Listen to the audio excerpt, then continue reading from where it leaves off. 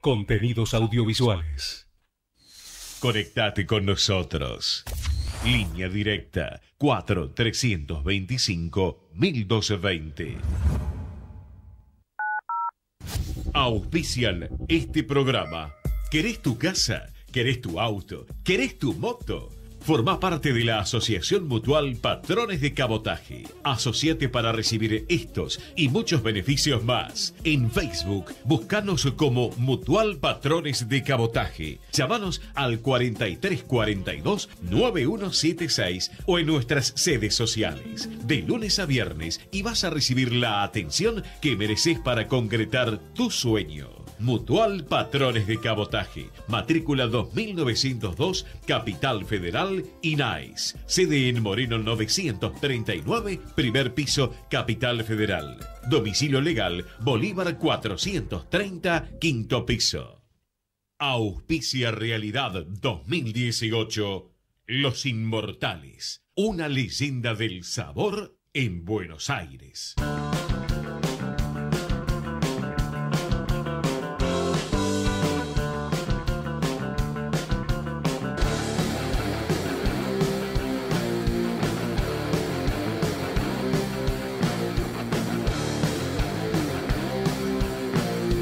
Buenas tardes, bienvenidos a Realidad 2018 como todos los días de 18 a 19 por Ecomedios AM 1220, el programa donde usted escucha todas las voces. Y estamos aquí esperando a Juanpi que como no anda al subtea, está llegando tarde. ¿Por qué no andará al subtea?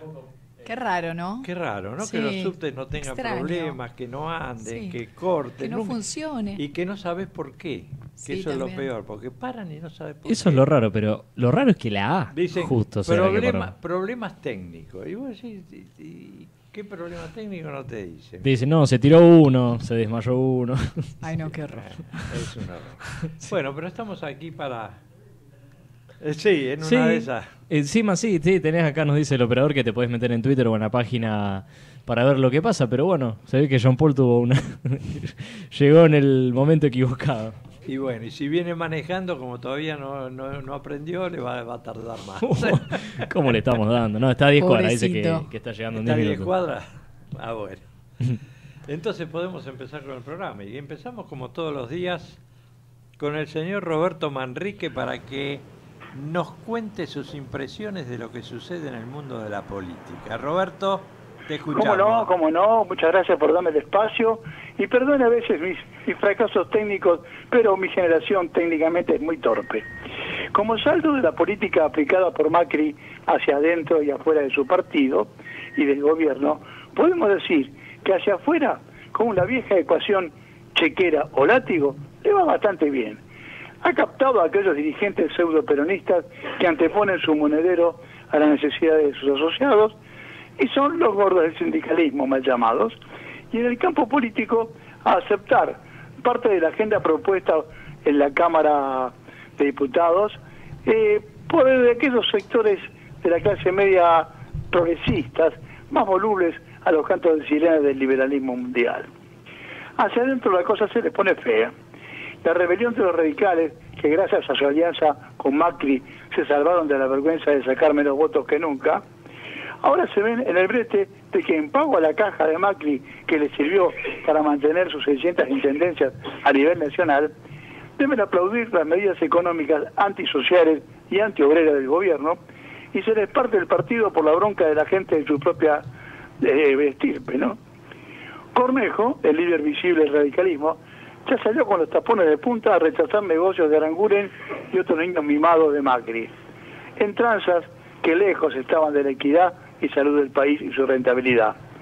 Alfonsín Jr. hace rato que despotrique dice que no arma, no arma más lío por disciplina partidaria.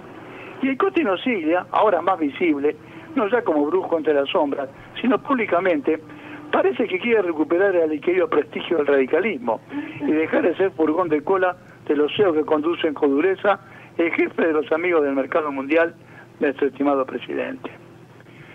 Se suma a esta crisis interna la renuncia de Abad, un prestigioso funcionario de 73 años que por ser honesto en casi toda su gestión y no aceptar las últimas trapisondas que le ha propuesto en sociedad con super acreedores de AFIP, amigos del gobierno, no aceptó esos enjuagues y se fue, alegando que está viejo y que quiere vivir su vida. En realidad, lo que no quería era avalar corrupción. Corolario, Macri con la ideología de que si me convierte lo hago y lo demás me importa un pito, pragmatismo total, sacrifica y sacrificará a cualquier miembro de su gabinete que se anime a cuestionar sus vaivenes de ida y vuelta de la acción política. Con lo cual es un calco, pero con bigote, ¿no? De la viuda de Kirchner, que no solo rajaba a los que se negaban a desobedecerla, encima los forreaba públicamente. O sea, es más de lo mismo, pero con mayor formalidad, como le enseñaron en su formación hipócritamente cristiana y católica, ya que su accionar contradice el Evangelio y desafía la autoridad de Francisco, que incita a proteger a los más pobres, y este presidente nos tiene con 7 mil pesos a los jubilados y a, lo- a todos los viejos, y con un salario básico de miseria, que obliga a los jóvenes sin instrucción a delinquir y a veces hasta matar. Digamos que todo lo mismo. Los radicales deben explicar a sus bases por qué están viviendo con escasez, salvo los punteros y sus pequeños chanchullos archiconocidos, y por qué los obligan a defender un gobierno que traiciona los orígenes en la formación y la doctrina radical que, que conformaron Leandro Aldem e Hipólito Yrigoyen, y en parte Alfonsín, que su decencia le haría poner rojo de vergüenza ante las medidas económicas del gobierno. Para los jóvenes que llegan a esta película de la política nacional y no tienen la más pálida idea de la actuación de muchos figurones radicales de antaño, por no haber nacido, está claro que no son demasiado santos como, como cantan a veces, ¿no? Está claro que los radicales de 1955, después del golpe militar asesino de ese año, armaron comandos civiles para perseguir a peronistas y a otros socialistas en los barrios y, y que también durante el mandato de Perón, donde hubo un gobierno muy de muy eh, buena situación para todos los trabajadores, ¿no? pusieron bombas en la Plaza de Mayo, matando obreros manifestantes y posteriormente, después del golpe militar, prestaron sus mejores hombres, preclaros y con títulos, para anular la Constitución de 1949, que sancionaba con fuerza de ley y de- dentro de la nueva Constitución nuestra independencia económica, social y política de cualquier potencia mundial. Bueno, pero este tema es muy largo. Lo desarrollaré cuando sea un momento oportuno. O sea, que cuando mientan públicamente les caeré con todo el peso de la visión histórica de lo sucedido para que dejen de engañar a las jóvenes generaciones. Que cuan- cuando hoy les inculcan que tienen que ser republicanos, les están diciendo, este es el modelo. Compren esto o si no, quédense afuera del reparto. Hasta acá el comentario del día. Roberto, muchas Sí. gracias. Un abrazo y nos reencontramos mañana. Bueno, cómo no, cuando quieras. Hasta luego. Y continuamos con otro tema. Pasamos, cambiamos la página completamente o nos quedamos no, un- Hoy vamos con la presencia femenina. Sí, Vamos sí, a, sí. a tener a la periodista de judiciales, la señora. En vivo. la Señora. señorita, Señora, señorita. me mataste. Porque es un título nobiliario. Ay, no, por favor. señora. ¿Qué es No. nobiliario? Es, es un título de, pa- de- para una reina. Ah, Ah, bueno, Mirá está cómo arregló. es que es así, yo soy antiguo. Yo uso los viejos títulos nobiliarios. Ayer me dijeron señora y dije, no, no puedo creerlo. No le quité en la calle. vida. ¿sí? Y bueno, calle dije, una ¿qué? persona educada de la que te dijo ¿Me eso. mató? No, no te mató. Sí. A partir Te de qué edad, te dio distinción. a partir de qué edad se le dice señora a las mujeres? No, no tiene que ver la edad. No, tiene no, que no, ver con que vos le des Respeto. su lugar como persona Claro. de, re- de respeto. Hmm. A mí también me, me- me parece raro cuando me dicen señor, porque por ahí hablo por Ay, teléfono y se ve que tengo la voz de, de, de alguien De locutor. Bueno, señor. Y yo tipo, pero señor, O sea, pero me pasa desde hace bastante. Y sí. Lo que pasa que esas formas de, de respeto se han perdido. Sí, Claro. tal cual. Igual Habría que que- recuperar. Un- venía un laburante en, en los barrios y tenían costumbre que a un tipo como mi abuelo, mi abuelo era joven, cuando yo nací mi abuelo tenía 45 años, Ah, muy joven. era muy joven, Sí. Y venían los del barrio, el verdulero, el panadero, el diario, y le decían, Don Diego, ¿viste? Ah, don. Don, don. Bueno, don también se 45 usaba años. mucho, sí. Es un for- es un Son formalicio, modismos. un modismo Sí, de darte prestigio. Don. Bueno, está El bien. don. Voy a aceptar el, el señor entonces. Y un una poco- buena Un explicación. poco mejor, sí. Tuvimos una gran. Sí, la verdad que sí, una gran entrada. Y ahora vamos a meternos en todo lo que sucede en las partes judiciales. En el mundo judicial, bueno, en primer lugar, hoy empezó el año, por así decirlo, judicial con, con el discurso del presidente de la Corte, Lorenzetti. Escuché un poquito. ¿Escuchó un poquito? ¿Qué le pareció? Y lo poco que escuché, porque estaba escribiendo en la Sí. computadora y tenía el televisor prendido al lado, o sea que mucho no escuchaba, uh, dijo cosas que me parecieron correctas. Sí, atinadas Sí. para el momento. Fue autocrítico. Sí. Autocrítico y, Planteó la autocrítica, así y es. llamando a la justicia a, A que trabajen a trabajar mejor. y a razonar las leyes, no aplicarlas con los ojos tapados. Sí, a tener mayor contacto Mm. también con y mayores respuestas para con la sociedad, autocrítica para con el poder judicial y modificaciones, reformas que ya van de la mano de, de las reformas que quería hacer Garabano con, con ese programa de Justicia 2020. Garabano también estuvo. Qué en- nombre raro, como una promoción. Manda justicia al 2020. Sí, justicia. Pero por- sí. por el 2020. programa, sí, exacto, debe ser por eso. Sí. Y que muchas de las Suponemos. cosas que dijo chocan con la ideología de Zaffaroni. Sí. ¿Son amigos? Zaffaroni y Lorenzetti, no. Sí. No creo, no, Pero- no creo. ¿simpatizan Yo ideológicamente? creo en el Poder Judicial, por ah, experiencia propia, es muy difícil la amistad. ¡Oh! Con tus colegas. ¡Qué bomba! Lo juro, lo juro. Jurista. Sí, sí, es difícil. Pero ideológicamente sí, ¿no? Tienen cierto. No sé, ¿No? si tienen ideológicamente en política tal vez, Claro. pero no en la metodología aplicar. O sea, lo de Zaffaroni es demasiado permisivo. Este Abolicionistas. Es garantista. Ah, es es garantista. Sí.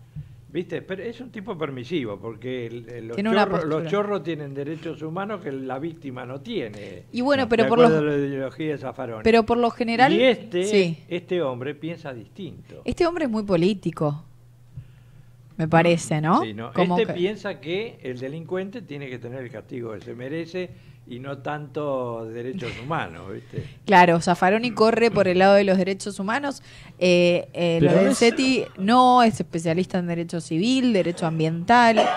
Zaffaroni por el lado de lo penal, sabe muchísimo, escribió muchísimos manuales y libros. Yo creo que era Entonces- abolicionista.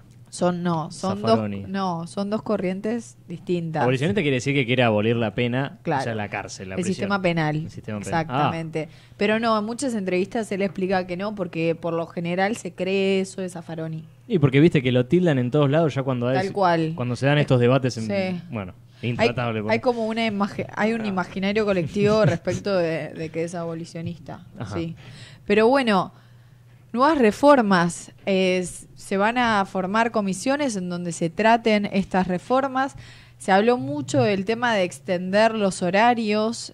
Como todos sabemos, eh, es de una y media a siete, y- en realidad de siete y media a una y media. La provincia de Buenos Aires de 8 a 2 de, del mediodía y en algunos lugares, por ejemplo en Rosario, es de 7 a 1 del mediodía. De, a, a una del mediodía. Y los kite tienen otro horario, por ejemplo, creo que son de 9 a 3. Exactamente, sí, Sí. en la, en la ciudad de Buenos Aires, sí, es un horario distinto, son 6 horas. La idea es extender el horario de trabajo y Garabano y el gobierno están a favor de estas modificaciones. Todo lo que lo que sea Pero aumentar que la se productividad. parece lógico, porque vos Sí, es lógico. dependés de los juzgados, sobre todo cuando se cometen delitos. Y tenés que salir corriendo a buscar un juez de turno que no lo encontrás por ningún lado, ni a él ni al fiscal de turno. Entonces, hasta que aparece el juez y el fiscal de turno, la policía está atada con pies y manos. Sí, la policía no, no tiene muchas facultades, como es lógico, pero eh, el tema del funcionamiento de los juzgados de turno, que son penales por lo general, funciona, o sea, todos están de turnos en algún momento, sobre todo en la feria, pero bueno, los penales es esencial para que el sistema funcione, para regular todo lo que pasa diariamente, lo que vemos en la televisión, leemos en los diarios, todos los delitos que se cometen Pero día a día. diariamente, todos los días hay montones de delitos Terrible. de distinto tipo. Sí. Sin contar además los accidentes que también necesitan de la intervención policial. Sí, de hecho, Ahora, sí. lo, de, lo de abolir las cárceles es, un, es tomado así de los pelos, no tiene ni pie ni cabeza, porque si no hay castigo, no hay delito. O No, sea, si a mí no me van a meter preso por un delito que cometí, me puedo dedicar a matar gente, violar, robar. Claro. Total, no voy a ir No, preso. No, si es- se quiere castigar y quiere hacerse sin cárcel o quiere hacerse con cárcel, pero que por ahí que funcione como tendría que ser con una reinserción social, sería un Exactamente. cambio cultural de años y años, como la educación. Bueno, la idea, a ver, de la cárcel es una reinserción social. Reeducar. Es reeducar, reinsertar socialmente. Esa es la idea, es una de las teorías.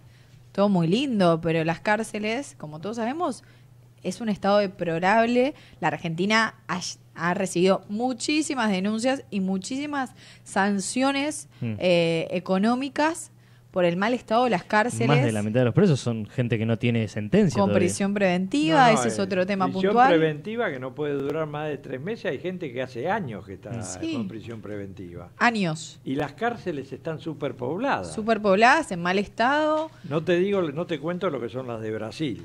Te matás. si Sí, el tema de, bueno, Brasil. es súper complejo. Por eso me parece bastante Pero atinado tenemos, esto. tenemos una cárcel vacía. Prácticamente vacía. Tiene lugar para 400 presos, debe tener 20.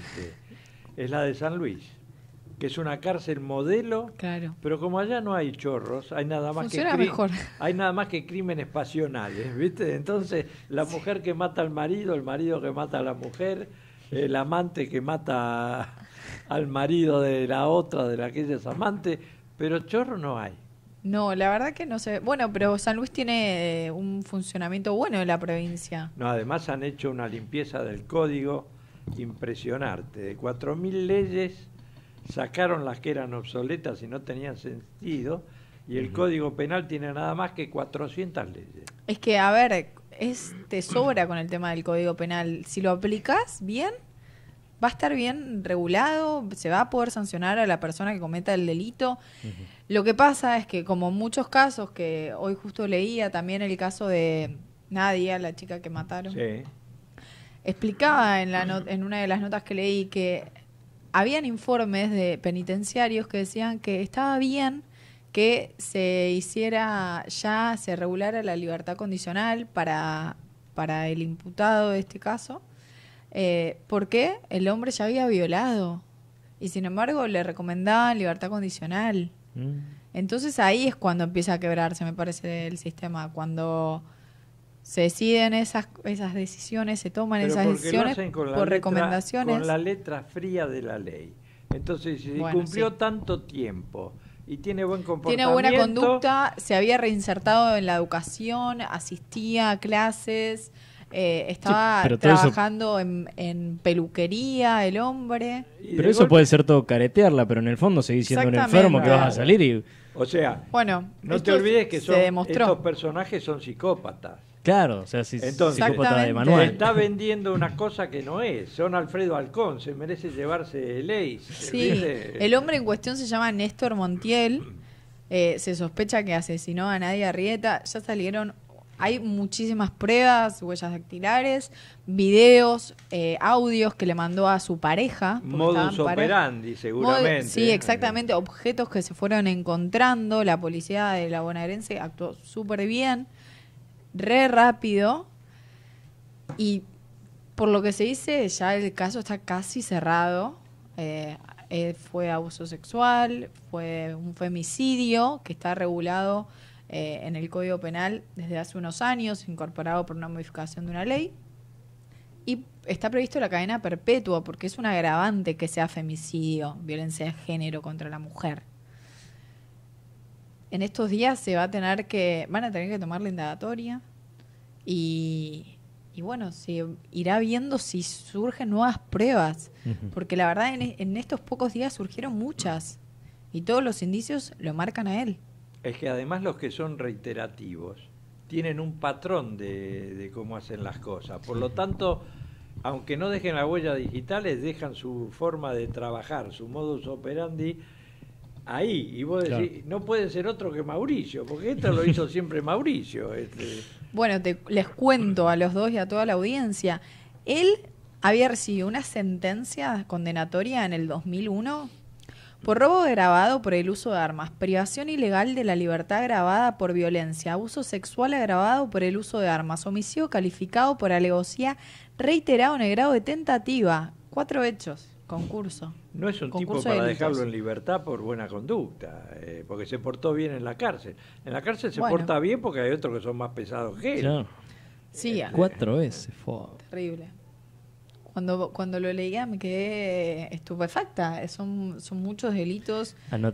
Ahora- pero bueno, en el 2001, cuando se dictó esa sentencia por el, por el Tribunal Oral en lo Criminal número 2 de Morón, ¿qué pasaba? En ese momento no estaba, agre- estaba estipulado el agravante del femicidio en el Código Penal.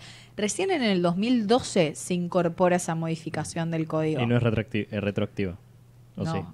No, no, no, no, no, no. No, porque yo, juez, te voy a juzgar eh, Con la las hoy. leyes de ese momento, a menos que haya una ley benigna posterior. Ah, verdad, cierto. Entonces, en ese momento no existía la ley, año 2012, o sea, muchos años después se sanciona y fue juzgado por ese delito en ese momento con esa ley determinada. ¿Y hoy cuánto por tiempo- hoy, sí. agravante. ¿Cuánto Tenía tiempo le dieron? 18 años. Y salió en. Ya estaba con libertad condicional. Claro, es una cosa de loco. Lo que pasa que si no hubiera, tendría que haber un tribunal de penas como tienen los árbitros del fútbol, que cuando los jueces cometen un error de este tipo ya los empezaran a controlar y juzgar Y pero- y decirle, tenés amarilla, la próxima es roja. ¿Viste? Porque no Sí. puede ser Claro, que cometan casación- estos errores porque ellos piensan que no. Pobre tipo, estuvo tanto tiempo preso, lo voy a dejar en libertad. Lee todo lo que hizo antes de dejarlo suelto. No, no sé si será tampoco que lo vean como un pro- pobre tipo, porque la verdad de pobre no tiene nada, pero ese es el tema. Pero Hay lo distintas... que dice la letra Claro. del- del, eh, que está escrita y entonces Sí. ellos dicen bueno acá dice que Cumple esto, cumple lo otro, el cumple lo tiempo otro. el buen comportamiento es, puede salir en libertad y está dejando a un loco que va a volver a ser el mismo Reincidente. desastre que hizo antes Bueno, parece ser que, que sucedió eso. y sí es que sucede cotidianamente Sí, si vos ves los sí. hechos es cotidiano Sí. salen en libertad y están vos fíjate hubo ayer creo que fue ayer un asalto que mataron a una mujer en una de las provincias del interior y uno de ellos estaba en libertad condicional y con pulsera la había conseguido anular y en el momento que estaban matando a la mujer le empezó a funcionar la pulsera y por eso los agarraron Claro. lo acaban de dejar en libertad condicional para que fuera a prisión domiciliaria. Sí. Entonces, el error es haberle dejado en libertad condicional. Sí, pero Nunca bueno, pagan el precio, digamos, de, de esas decisiones los, los jueces. Ni... No, pero ahí, claro, la el gente. problema es que hay determinadas leyes que establecen después de determinado tiempo la libertad condicional. Es muy border, me parece, eh, decir, bueno, no, eh, no vas a salir aunque la ley establezca que tenés un buen comportamiento, eh, formas parte de, de, vas a clases, estás estudiando. Es, es muy complejo, me parece, Sí, sí, limitar esa libertad condicional que, que, bueno, que está establecido así. La otra, bueno, es siempre modificar las leyes. Pero tenés un prontuario que te dice otra Sí. cosa, por lo menos antes de tomar la decisión, con la letra fría de la ley, pegale una releída al prontuario de la persona que vas a dejar Sí, siempre se tiene en cuenta. y El tema de la reincidencia también se tiene en cuenta cuando el juez decide la sentencia. Sí. Bueno, ¿cómo estás, Mara? ¿Todo Te bien? hago una pregunta antes de que redonde. Primero lo saludame, Carbone. Está ofendido, no, ya está tarde, ya está. eso- Sí, yo estoy ofendido con la línea del subte. Y bueno, peleate con los metrodelegados. este, ¿Qué pensás de este muchacho, el cacique, Ah, el, Jonah. el lonco Jones Wallace. mapuche que tiene nombre nor- inglés? A ver. Que le dan la extradición a Chile, que es algo que él no quería. No, para nada. Para Él ya nada. estuvo preso en Valdivia hace cinco años por este mismo delito. ¿El delito cuál es? El delito se lo acusa de haber incendiado la casa de un puestero en Pisú, Pisué, en enero del 2013.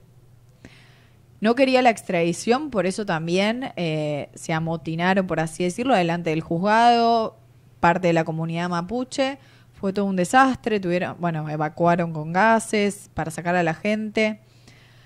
Em, Ese fue a el ver. famoso puestero que dice que apuñaló a uno de los atacantes. No, No, no, no, no. No. no, no, eso fue más Esto fue en ahora. 2013. exactamente, es otro caso. Em, no me parece que esté mal la extradición. El hecho se cometió en Chile, digamos. Y sí, y lo están reclamando. ¿Y cómo terminó acá? Bueno, No Acá terminó preso por otra causa. hay, hay un, hay un puentecito. Hay un, Acá puen- lo están reclamando Claro. por hay un puentecito. no es muy difícil pasar, claro. Hay un puentecito bastante que uno pasa caminando, creo yo. Es Sí. más, hay puentecitos que no hay barrera No directamente. digo, pero dice- ¿qué vino a hacer acá? está, está la senda de los mapuches en, en- en la, en la cordillera de los Andes por donde pasaban los malones. Con 4x4. Claro.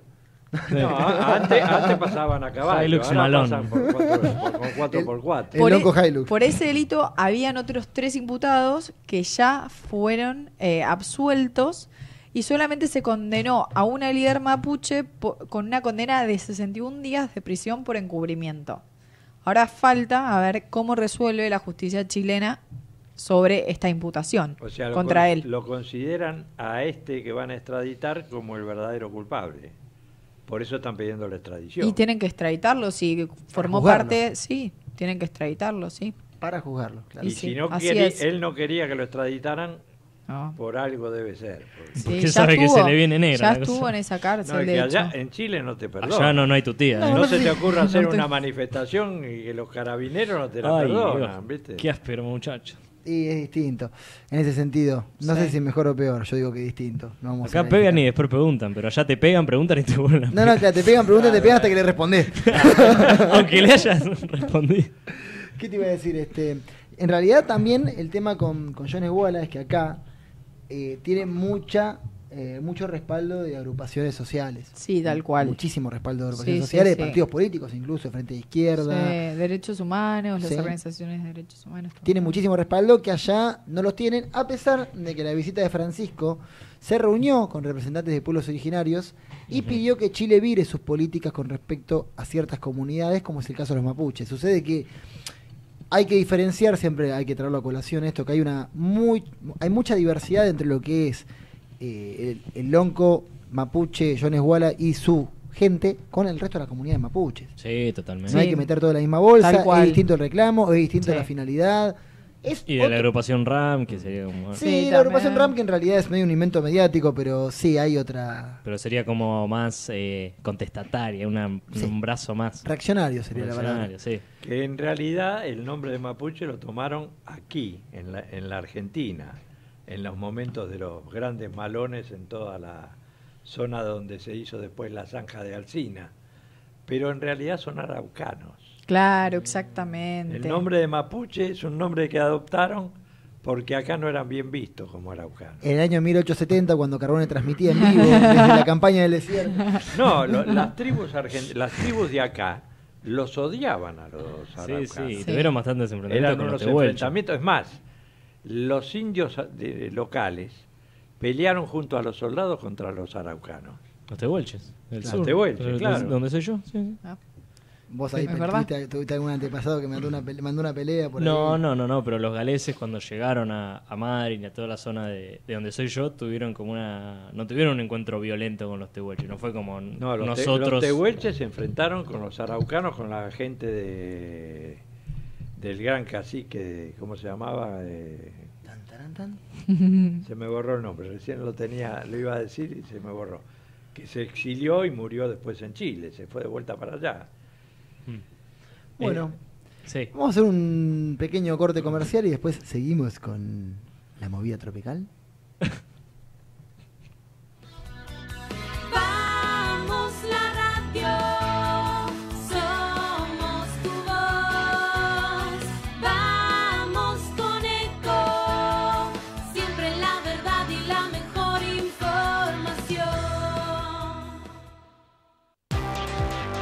pero qué tarde, ¿qué se me hizo? Me tengo que apurar porque si no, no llego, no llego, no llego. No. ¿Pero seguro? ¿Qué problema? Eh, bueno, vamos a encontrar una solución. Bancame ahí que en dos minutos estoy con vos. Bueno, vos ahora te tenés que ir. Sí, pero yo quiero hablar de esto ahora. Cuando llegue a casa te llamo. Te- Tres de cada diez muertos en el tránsito son peatones. Cruzá siempre por la senda peatonal o esquina, respetando los semáforos. Allí, todos los vehículos deben darte prioridad. Luchemos por la vida. Podés vernos en vivo en ecohd.com.ar.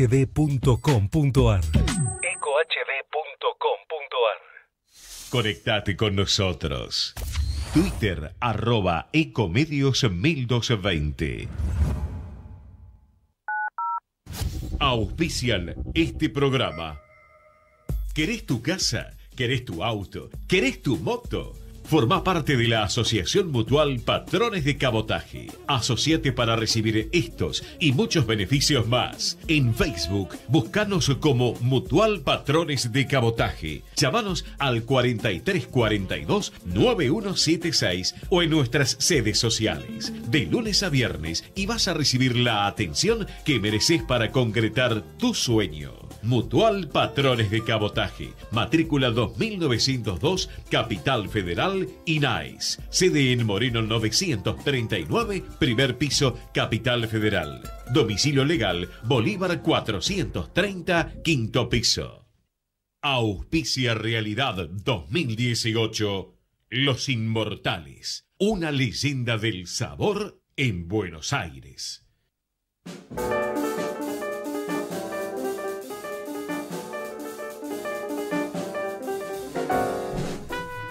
El tío alemán me viene alcanzando, ahora me, porque no acordarme del nombre del cacique era Calfucurá. Ah, bueno, bien. Y el de los tehuelches que lo enfrentó, que peleó junto a los blancos de Villegas, que los blancos de Villegas eran porque los jinetes de Villegas estaban todos montados en caballos blancos. Los Blanco Villegas son algo de Macri, ¿no? La No, madre. no, no.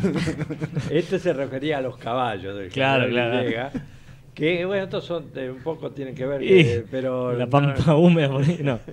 Los blancos de Villegas era por los Por animales blancos que tenía. Y el cacique, que era el gran lonco de, de aquí de la Argentina, era Catriel. Ah, Qué memoria, por favor. Catriel. Que también después ¿Qué? fue- Biblioteca humana. Fue Sí, la batalla del último malón, donde Catriel con los blancos de Villegas lo corrieron a Calfucurá y lo sacaron a Chile. Y después Catriel actuó en la novela Más allá del horizonte, interpretado por Osvaldo Laporte. No, ese era, el ¿Ustedes se no se cacique, acuerdan? ese era el cacique me chupa un huevo. No.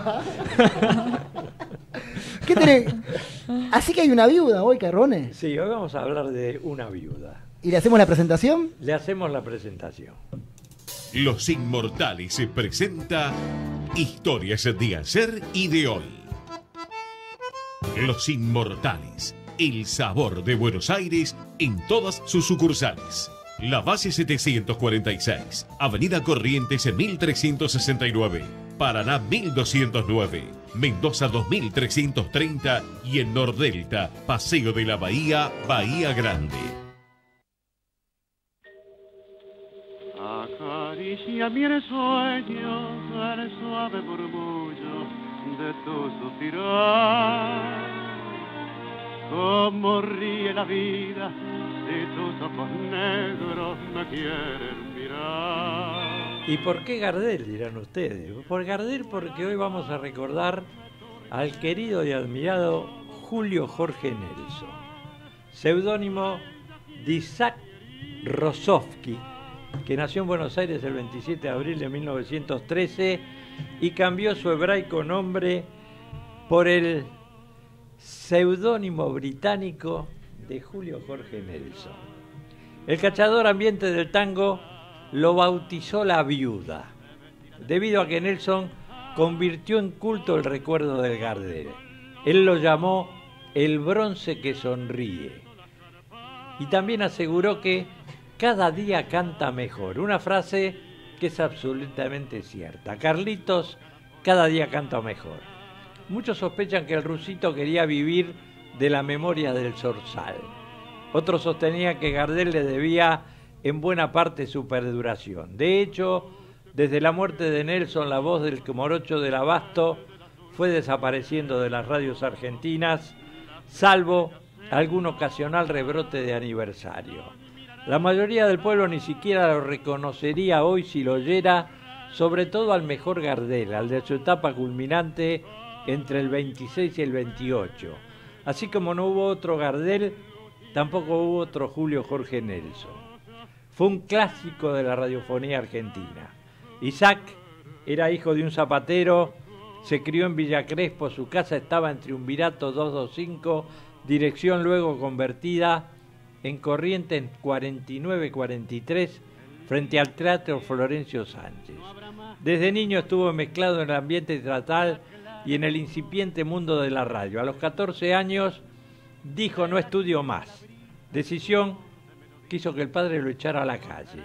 Se vino para el centro, trabajó en la compañía de Angelina Pagano junto a Rosa Rosen, Marco Zúquer e Irma Córdoba y en los cafés tangueros vio que las orquestas no tenían quien le anunciase al público los temas que ejecutaban. A falta de animador o grosista, alguno de los músicos anotaba con tiza el título en una pizarra y esto lo llevó a imaginar que podría haber un lugar para su labia. La vinculación de su destino con Gardel comenzó en 1933 cuando por única vez lo presentó como speaker, como se decía en aquella época, en una actuación del artista en el Teatro Nacional. En 1934 Nelson empezó a emitir por Radio por Radio Buenos Aires, el programa Escuche esta noche a Gardel, que intentaba mantener vivo el interés del público por un cantor que se había ausentado del país el 24 de junio del 35. Llegó la noticia del accidente de Medellín traída por Francisco Canaro y José Razano y sorprende a Nelson en el Café de los 36 Villares que lo remodelaron y ahora es una pizzería. Poco después por Radio Callao, inaugurada en el enero de ese año, el locutor Carlos Sequetti comenzó a difundir una audición totalmente consagrada al Zorzal que Julio Jorge Nelson pasó a conducir en el 36, bautizándola el bronce que sonríe. El programa se mudó en el 44 a Radio Mitre y cada emisión diaria se iniciaba con Julio Jorge diciendo a través del tiempo y la distancia perdura su nombre como el más auténtico símbolo de nuestro arte menor. Carlos Gardel, el bronce que sonríe. Nelson no olvidó el toque necrológico pertinente en la creación de cualquier mito y cuando se repatriaron los restos de Carlitos llegados desde Colombia el 5 de febrero del 36, transmitió su programa desde la sepultura en el cementerio de Chacarita. Otra audición diaria que le dio popularidad fue el éxito de cada orquesta en Radio Callao y dirigió La Pandilla Corazón, un programa de niños actores para después pasar a Radio Mitre, después a Rivadavia y conociendo el valor de las fórmulas rituales, Nelson casi concluía cada programa con la misma despedida. Hasta mañana, si Dios así lo permite. Quedó viudo, su vida hizo que se uniera en 1936 con Margarita Ibarrola Insurralde cuando ella tenía 17 años. Se separaron en el 45 dejando un hijo de 7 años. Julio Carlos Cachito con los abuelos paternos. El niño se colgó de su abuelo y ya no quiso soltarlo. Margarita emigró a Brasil y se casó con un alemán y tuvo dos hijos. Y Julio Jorge siguió su vida, se casó con Susana Carballo, una cantante de tangos, conocida como Susana Ocampo, pero no duró más de un año y terminó en divorcio. Terminó muriendo asilado en la casa de su hijo en 1972, cuatro años antes de morir. Se instaló en la casa de Julio, ya casado y con dos hijos, y terminó falleciendo el 6 de marzo de 1976. Julio Jorge Nelson, el hombre que hizo de Gardel toda su vida, utilizando en todos sus programas de radio, y por los cuales los tangueros lo bautizaron la viuda de Carlos Gardel. Julio Jorge Nelson en el recuerdo. ojos negros me quieren mirar. Y si es leve, es como un cantar. Presentó Los Inmortales, leyenda del sabor en Buenos Aires.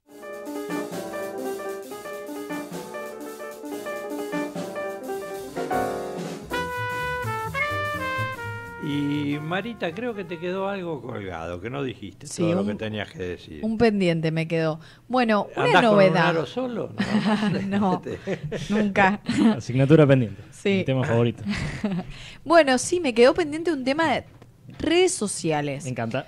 Hace muy, sí, eh, los millennials por ¿Te acá. pidió alguien matrimonio? No, Ah, no, eh, no, no, no. Porque las sociales, viste, me comprometo, me caso. De Sí, nada, todo se publica en redes sociales. Si no se publica, no pasa, es así. Es una cosa así, diríamos, los millennials, pasa eso, Viste que la alguna verdad. cosa de la vieja gentileza queda. Antes en los diarios salía, se casa Claro. Mara Noel con Mauricio. Ah, nos no están aparece. casando, Chini.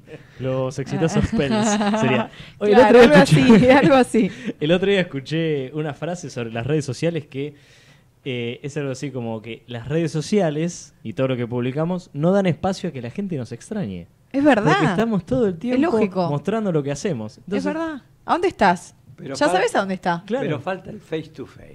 eh, Sí. cara cara. Demasiado mensaje y poco contacto, Sí, me parece, sí, ¿no? sí, es muy fría la cosa. Sí, no va, no va. No va. Bueno, por eso la noticia es que resolvieron el Tribunal Oral en lo Criminal número 22 una condena especial. ¿Por qué especial? Como el tribunal, el 22, el loco en la Es quiniela. verdad. Sí. ¿Por qué? Porque una mujer atacó eh, mediante calumnias, injurias, Ah. delitos del Código Penal regulados en el Código, a el marido de Ana Rosenfeld, la abogada de los famosos. ¿Qué pasó? Lo atacó. ¿Y por qué al marido y no a ella? Ah, Nunca no sé, sabe. habría que preguntárselo a, a la, a la denunciada.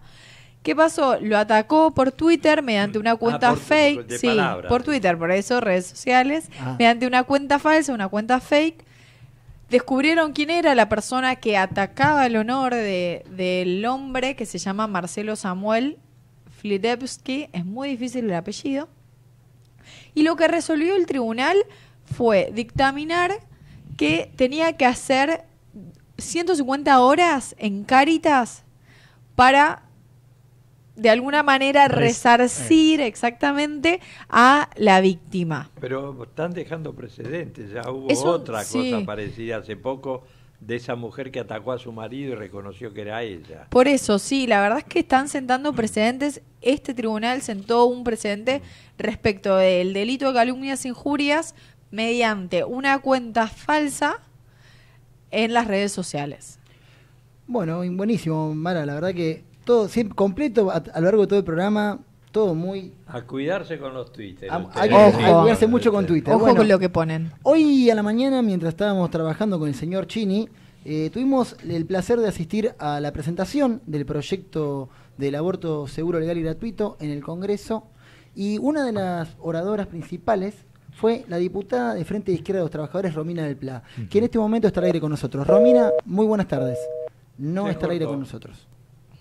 No Vamos a tener que volver allá. Bueno, no, no, no pasa nada. Mientras tanto, continuemos con ese tema, porque es importante que se siente precedente, porque como los medios eh, electrónicos, eh, Sí. el Facebook, el Twitter, todas estas redes sociales, no están legisladas. No, Exactamente. ese es- Entonces, no está legislada Sí. y hay perfiles truchos está de gente que vos abrís y las fotos no son de ellos. O roban y no información de otras cuentas O para- roban información Sí, de y otras se hacen cuentas, pasar por Ponen otro. las fotos tuyas, mía, de ella, se hacen pasar por vos y resulta que no tienen ninguna biografía.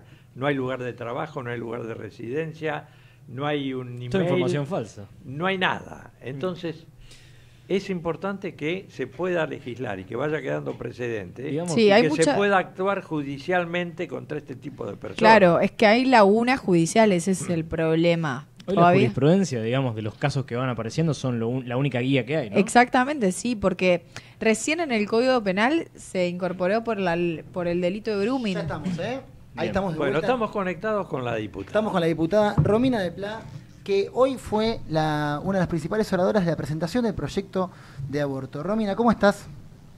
Hola, ¿qué tal? Buenas tardes. Muy buenas tardes. Bueno, la verdad que asistimos digitalmente al debate que se transmitió por muchas cuentas de periodismo independiente y nos pareció muy interesante la mayoría de los oradores y vos tuviste un discurso muy categórico en el cual recuerdo y corregime si es que no estoy citándote al pie de la letra, dijiste, ya estamos bien con el tema del debate, necesitamos que la ley se apruebe. ¿Cuál es tu posición con respecto a, est- a esto y si pensás que el debate va a llevar algún buen puerto o realmente es una forma de ganar tiempo? ¿Vos cuál es tu posición con respecto a esto? Bueno, mirá, yo creo que lo que no tenemos que hacer es cejar en la movilización popular, que es lo que ha provocado que estemos en esta situación inédita que estamos hoy. Porque realmente la jornada de hoy eh, es la expresión de una nueva situación que se venía manifestando en el aumento de las movilizaciones del movimiento de mujeres, en el aumento este, de, la, de la- de la aprobación social en materia de eh, una posición favorable eh, hacia el aborto legal.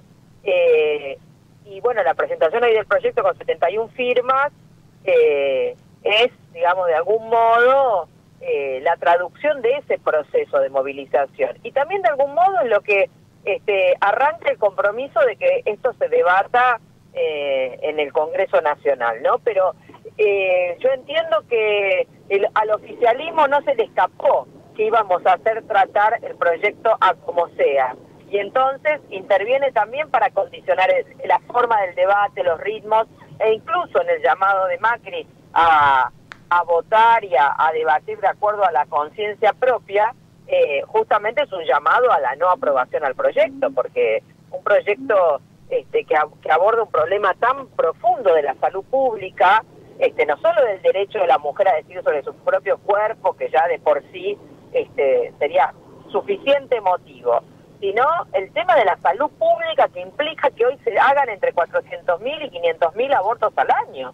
Eh, y esto es lo que coloca que el debate no es aborto sí, aborto no. El debate es aborto clandestino, con la muerte de mujeres, con las mutilaciones y las consecuencias irreparables, con el negociado que significa el aborto este, seguro, entre comillas, pero clandestino para las mujeres que lo pueden pagar, pero lo que significa para la mujer pobre, para la trabajadora, para la, la trabajadora en negro, precarizada, que ni siquiera tiene el derecho a la proyección de una maternidad plena, este, lo que significa la ignominia del aborto clandestino también como mecanismo de disciplinamiento social. Es entre eso o aborto legal, seguro gratuito, anticoncepción gratuita garantizada y educación sexual. Creo que en este punto el debate es muy claro y por eso no se trata del debate, porque tampoco me van a venir a contar que el intercambio y esa idea de que se escuchen todas las voces y demás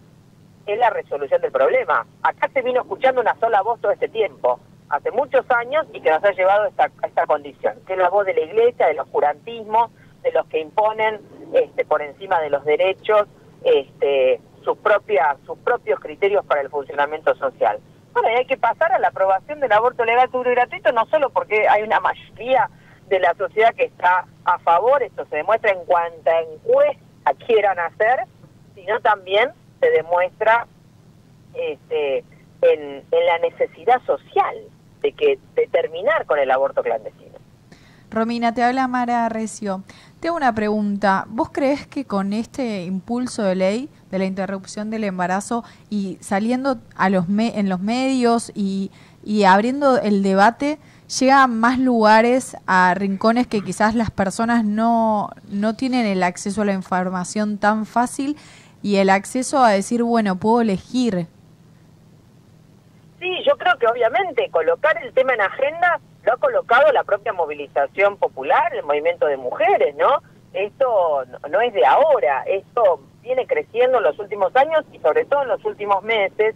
Y recordemos que antes de este, de, de, digamos, de esta decisión de la campaña nacional junto a las diputadas y diputados de, de hacer que este año el proyecto se trata como sea, eh, esto vino precedido por este, este inmenso eh, reclamo que se instaló en los medios masivos antes de esta habilitación, entre comillas, del debate por parte del oficialismo, ¿no? Y esto es lo que refleja esa esa creciente aprobación social, es lo que refleja que hay una maduración en la sociedad también para avanzar en este debate y que justamente tenemos que ponerle un límite este, no solo al aborto clandestino, sino también a todas las consecuencias que significa para la salud pública que no haya campañas de anticoncepción, que no que no haya educación. Y esto lo vemos en otros, en otros eh, indicadores. Aquí no se el aborto y los embarazos no deseados.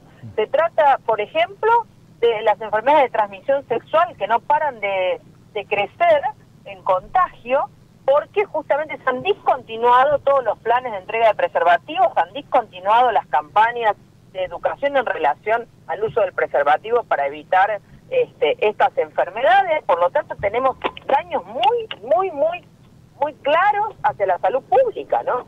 Diputada, eh, ¿cómo ven del apoyo parcial de, de los legisladores oficialistas? ¿Hay bastantes legisladores del oficialismo que apoyen eh, esta ley? Hay muchos legislado- hay muchas legisladoras y legisladores radicales, Ajá, especialmente, no sí. todos. Pero ellos vienen siendo parte de, de la, de- del proyecto y firmantes una buena cantidad hace tiempo. Eh, hay mucho menos del PRO, lógicamente. Sí. Este, sin embargo, hay algunas figuras notorias como Lipovetsky, que está al frente de la Comisión de Legislación General, por donde tiene que tendría que empezar el debate y ser la comisión cabecera. Este, bueno, que hoy de hecho estuvo en la audiencia y se comprometió a darle tratamiento rápido al, al proyecto en un plenario de comisión. Sí, se mostró a favor también. Sí, sí, él es el quinto firmante del proyecto. Bueno, eso es, una- eso es auspicioso. Esperemos que esta postura que tienen ciertos diputados del oficialismo sea un efecto catarata para el resto de los diputados que tal vez no sepan. Obviamente ya sabemos que hay algunos sujetos o sujetas que tienen el voto opuesto, como es el caso de Carrió. Corta. Sí, ¿me escuchás? Sí, sí, sí, Romina, ¿me escuchás? Hola. No escuché la pregunta, ahora los escucho, pero no escuché la Ahí pregunta. está. No, eh, por ejemplo, tenemos el caso de Carrió, ¿no? Que Carrió, a los 10 minutos que Macri habló de debatir el tema, ya se manifestó en contra. ¿Hay algún otro diputado que tenga mucho arrastre que se haya manifestado en contra, que ustedes sepan? Mira, eh, en realidad el, el problema es que es que hay algunos que creen que pueden seguir atropellando a medio mundo. De hecho, eh, Elisa Carrió intentó reclamar que se retire el proyecto en respeto a sus creencias. ¡Qué barbaridad, por favor!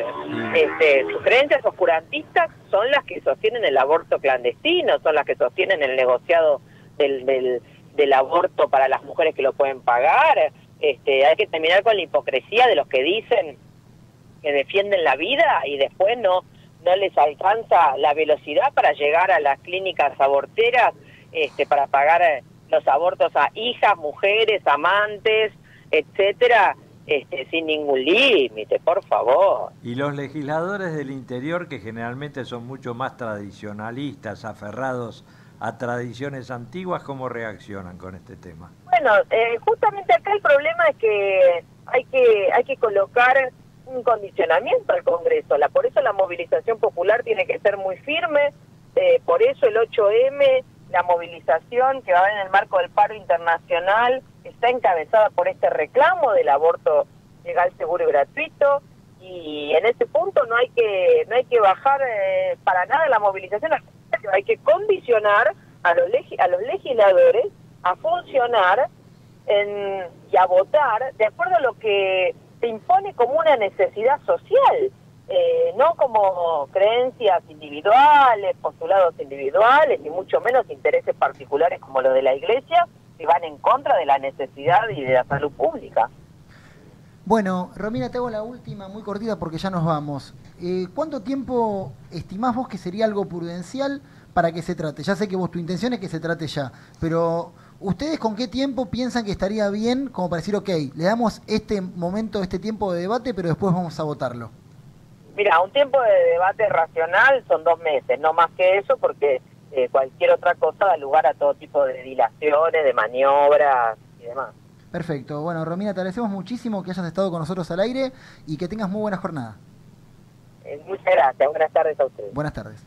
Bueno, Y Carbone. No nos queda otra que ir cerrando el programa. Vamos cerrando rápidamente. eh, la verdad que, bueno, le pido disculpas a la audiencia por haber llegado tarde, pero era una locura el centro. Está perdonado. Está perdonado. Me Ya se te perdonó- Carbone. Me perdonó Carbón, estamos bien. Eh, Mana, ¿te quedó algo por decir? No, nada, lo que le estaba por preguntar a Romina es esto. ¿Qué opinaba respecto del fallo preventivo del juez en lo contencioso administrativo, Martín Furchi, que le ordenó al gobierno porteño que la policía lleve identificaciones y que a su vez no usen balas de plomo en la marcha de mujeres del 8M. Muy positivo. ¿no? Súper positivo esto. La, la- la identificación la tendrían que llevar todos los días, no Sí, solamente en esta marcha. De- Tienen Pero- que llevar la chapa y la identificación Sí. con el nombre, como es en todo el mundo. Vos Así vas a es. cualquier país del mundo, te parás delante de un policía Y y le- le, lees el nombre acá en Sí, el pecho. tal cual. Tal- ¿Sabes? Eh, también una duda cortita y, y- y ya nos vamos. Pero no sé si estará legislado también, ahora, ahora se me ocurre como para preguntar a Romina también, el tema de cuando una mujer decide abortar, el peso de la decisión de su pareja, ¿no? Yo creo que tendría que ser nula. En el caso que es la mujer la que lleva en El su embarazo. cuerpo y todo, toda esa vida, yo creo que ahí no tendría que... Por eso te digo, es algo privado, pero digamos que estamos en una época en la que lo privado eh, Sí. tra- trasciende y ya es político, digamos. es Yo, decir, yo creo que vamos a tener dos meses para sacarnos las dudas porque se viene un debate y está bueno que la gente más allegada del proyecto piense que dos meses es un tiempo prudencial porque eso nos va a dar un 60 días como para que todos revolvemos nuestras dudas, las saquemos al sol y no nos persigamos con, como decía ella, oscurantismo. Y hagamos el mea culpa también, porque todos tenemos algún muerto en el, pe- en el placar. No, Carbón. Yo me pregunto qué votará Scioli después de todo lo que se supo. No sé. Ay, vos. Ay, Marita. Ay, Dios. No sé qué votará pregunta. Scioli. Ahí nuestro Bueno, operador hace un gesto extraño con el voto. no No va a llegar a nos tocar el vamos, botón. Nos, Nos vamos, vamos, nos pero vamos. nos vamos y les quiero dejar una frase para que piensen hasta mañana. La dijo Friedrich Hayek, un gran filósofo alemán que dijo, la emisión compulsiva de dinero de los gobiernos no tiene su origen en el beneficio para el pueblo, sino únicamente en el deseo de aumentar los poderes coercitivos del Estado. Se las dejo para que piensen. Nos reencontramos Pícaro. mañana aquí en Ecomedios AM 1220 con esto que hemos dado en llamar Realidad 2018. Será hasta mañana y que Dios los bendiga.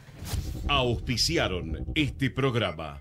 ¿Querés tu casa? ¿Querés tu auto? ¿Querés tu moto? Forma parte de la Asociación Mutual Patrones de Cabotaje. Asociate para recibir estos y muchos beneficios más. En Facebook, buscanos como Mutual Patrones de Cabotaje. Llámanos al 4342 9176 o en nuestras sedes sociales. De lunes a viernes y vas a recibir la atención que mereces para concretar tu sueño. Mutual Patrones de Cabotaje. Matrícula 2902, Capital Federal, INAIS. Sede en Moreno 939, primer piso, Capital Federal. Domicilio legal, Bolívar 430, quinto piso. Auspicia Realidad 2018. Los Inmortales. Una leyenda del sabor en Buenos Aires.